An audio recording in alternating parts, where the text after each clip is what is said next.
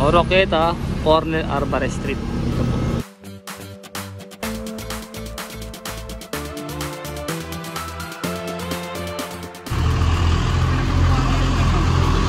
Lebron, no?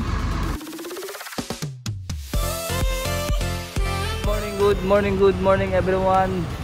Dito tayo ngayon sa Oroqueta. Bali, June 1 today. Magang maaga, ito ang aming natambad na isang puno na bumaksak dito sa Oroqueta Street. Para damputin po ito ng ating mga kawaning GPS QRT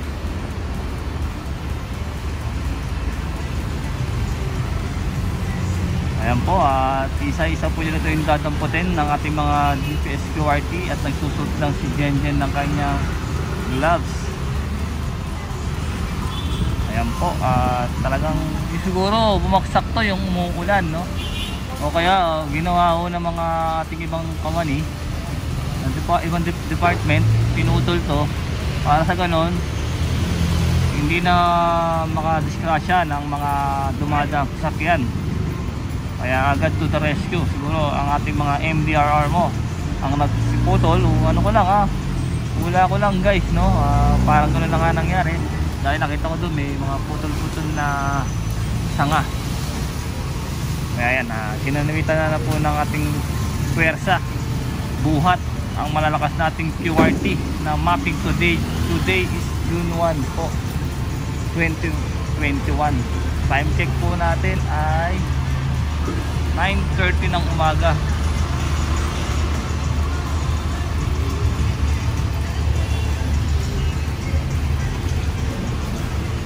guys. Tayo ay arriba Gen Gen, ingatan mo yung pit mo baka lumabas ha? Dahil si Dennis lumalabas ang puwet niya. Puwet ng bata.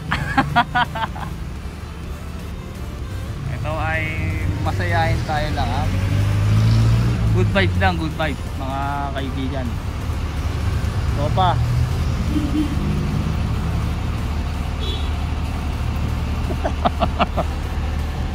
Pahusing mo bata ka. okay may nakita si Rod oh talagang masinop Rod baka may gusto kang shoutout oh, wala naiya si Rod Ayan po, at punta po natin si Tata Ryan doon, no? At si Garding Sungkit. Dito tayo sa Oroqueta. Ayan, Tata Garding, Tata Ryan.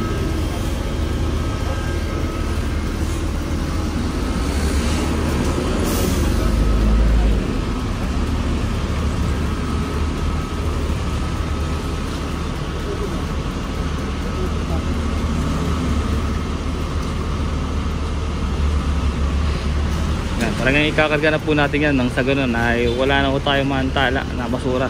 Dahil isa rin sa pinagbumulan po ng mga pinam, pinam, iitlugan ng mga lamok.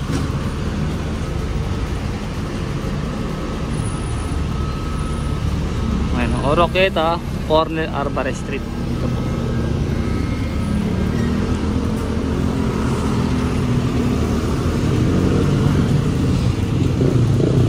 Bali, susuyurin na po natin itong Oroqueta.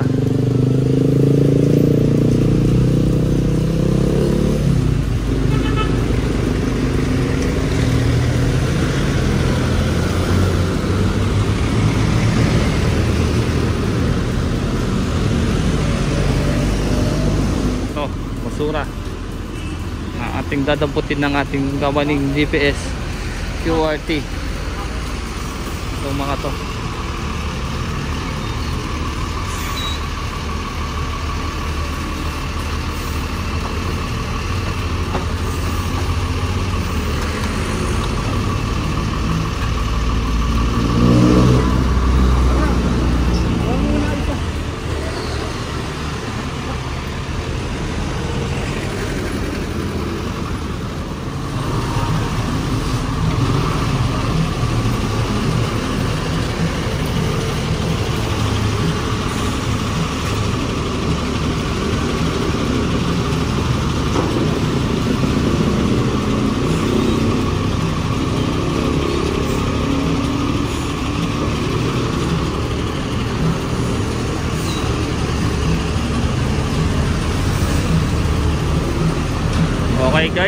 Araw no, dati dito mga bangketa hindi natin nadadaanan ng mga tao.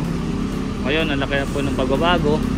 Tayo ay nakakapag nakakadaan na sa mga bangketa at yung kalsada maluwag-luwag na. At talagang nagkaroon na po ng disiplina mga tao. Dati yung mga tiger nila, mga motor nila, dito nila pinaparada sa mga gitna, gilid, Ngayon, alam na nila na bawal o sa bangketa. Pa, ang bangketa ay para sa tao.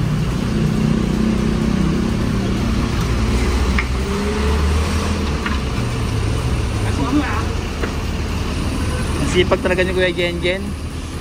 At saka ni Kuya Ryan, Jan Ryan. Kuya Jan Ryan, meron ka po bang gustong i-shoutout? Shout Yan oh, yung mga mahal mo sa buhay.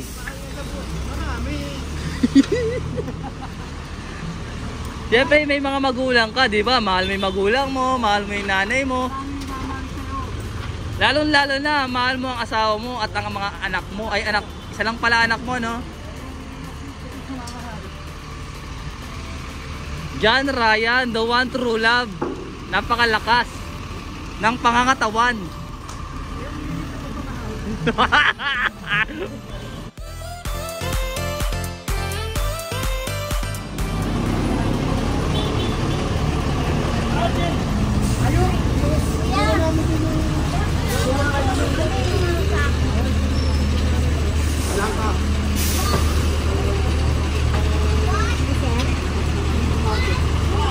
Ito, ito, si Sir, si Sir Carding. Kasapin niyo po.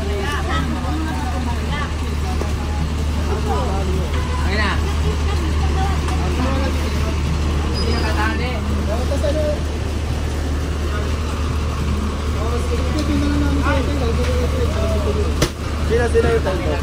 Oo, pala ka, di ba? Oo, di ba sa Ayala? Ay, Ayala. Palangka, palangka. Pala ka, basta pala ka. Malapit din sa Arco. May riles. Sa Tita Mari. Okay guys. Sa sa- may presinto, di ba? Presinto sa may tulay. Presinto doon. Pag- Pagpagalan doon. Oo, pagpagalan. Pagpagalan doon. pagpagalan. Oh, padala mo lang yung tenant nila para. Hindi na lang na taon. Lilinis kami. Mabuti dumaan kami sir, no? Oo nga eh. May mga taon, bawas kami. Opo, eh, tagulan na, malapit na akong tagulan, no? Ayun na nga, oh, tingnan mo. Sa yero, gawa ng dahon. Oo. Mapapalik lang na isang taon. Butas na naman. Masira yung dahon eh. Lalo na yung mga ipot na mga ibon, no? Oo. Putulin natin yung ano. Oh. Yan guys, ah, dito naman tayo ngayon sa Felix Huertas. Dito tayo sa District 3. Meron po dito nagtambak na puro mga kahoy. Ayan, oh. Bali, dadap, dadapun, dadamputin na po ng ating mga QRT. Team Malakas. Yan.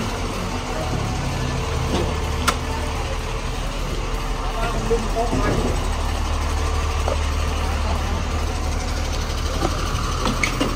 talaga ni John Ryan.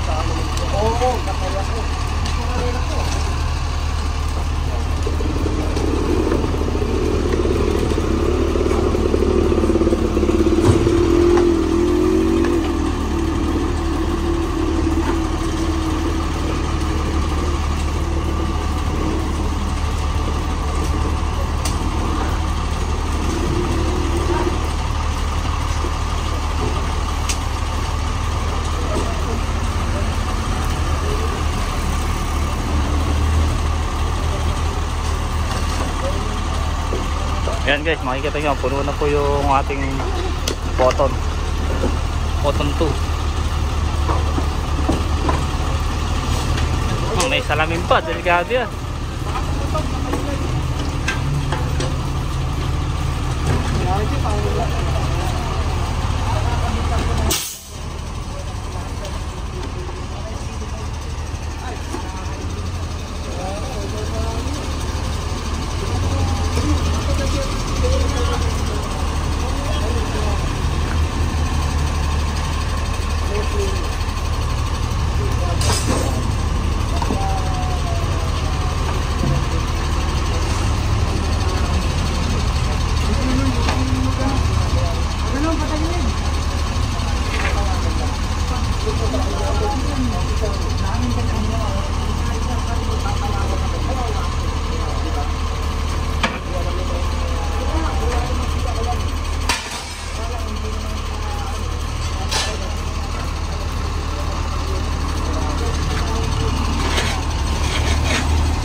Yung mga salamin, no? Delikado yan.